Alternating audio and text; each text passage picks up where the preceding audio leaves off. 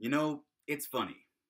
Whenever the subject of free speech comes up these days, you tend to hear a lot of folks making ill informed and ultimately false claims about certain forms of speech that they believe to be exceptions to the right to free speech. The main example you usually hear is hate speech. So the idea is if you are saying something that expresses hatred or what's perceived as hatred to people of a certain group, particularly historically marginalized groups, then ostensibly that is somehow not protected by the First Amendment right to free speech. Actually, that viewpoint is wrong, as I've pointed out in the past, about a year ago, if not slightly more, on this channel. As a matter of fact, there is no hate speech exception to the First Amendment right to free speech. However, there are exceptions to the right to free speech. Unfortunately, all too often they're not actually called out. Well, guess what is an actual exception to the right to free speech? Incitement to imminent, lawless, or illegal action, such as violent assault. And guess what is probably the best example of that exception to the right to free speech in American politics today? Our friend Donald Trump. Donald Trump. That's right, ladies and gentlemen. I'm referring specifically to the threats that he makes against protesters at his rallies there's a lot of commentary in the media about the violence that often pops off at Donald Trump's rallies. Typically, his supporters will attack any protesters who speak out against him at these events, rough them up, and here's the critical point Donald Trump eggs them on.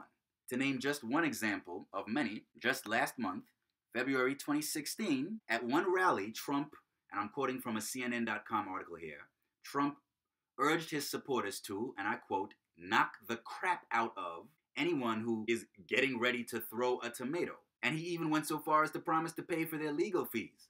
He said, and I quote, knock the crap out of them, would you? Seriously, okay? Just knock the hell. I promise you I will pay for the legal fees. I promise, I promise. Ladies and gentlemen, if that's not incitement to imminent illegal action, I don't know what is. I don't know what possibly could be if that doesn't fit the bill. Explicitly urging his supporters to commit acts of violence, knock the hell out of them, knock the crap out of them. Very clearly, it's an incitement to violence, and it is certainly imminent, especially considering that many of his supporters actually do act on that. He is encouraging them to commit acts of violence that are considered assault under the criminal law. The fact that these incidents happen at his rallies shows that Trump either knows or at least can and should know that his inflammatory statements carry a strong chance of actually leading to actual violence. And the violence is imminent. He says these things, and in at least some cases, people actually act on them. Ladies and gentlemen, there is an exception to the First Amendment right to free speech. I actually just saw a legal analyst on CNN make that point this morning. So there you have it, ladies and gentlemen. You want a real exception to the right to free speech? There's one. And that's an exception that's long recognized by the Supreme Court and that is actually quite justified. If you're urging people to commit acts of violence in an immediate sense, it makes sense for that particular kind of speech not to be protected by the right to free speech. That's the kind of speech that can actually directly lead to imminent harm to other people. And as the saying goes, your right to swing your fists ends at my nose. That is the main benchmark for determining when people's individual rights and freedoms can be abridged or limited when their exercise would hurt other people.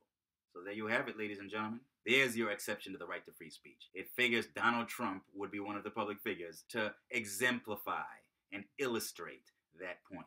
Now all that remains to be seen is whether any authorities out there will have the guts and the integrity and honor to actually press charges against him for it. Time will tell